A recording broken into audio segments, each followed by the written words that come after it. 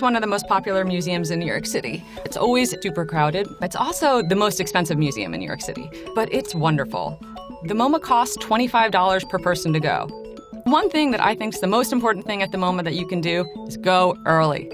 The place gets packed, and it's not fun seeing art when there's a million people trying to look at the same painting or exhibit as you. So, you know, the earlier you can get there, beat the lines, beat the rush, you'll be a much happier museum goer. Food at the MoMA is great. There's a uh, formal restaurant, which is delicious. And there's also a more casual restaurant um, that's in the MoMA, so that's good for if you just want to get a quick bite.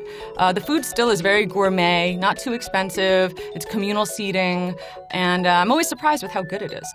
One thing a lot of people don't realize about the MoMA is that you get free audio tours. So, upon price of admission, you get a free little um, headset that you can listen to as you look around at different exhibits.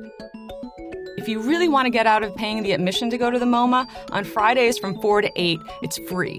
So, again, get there early, enjoy your time there, and uh, the exhibits are incredible. I mean, you, you never know what you're going to find there, but it's always something really important and, and something that when you go home and you tell your friends, everyone's always jealous that you've gone to see it.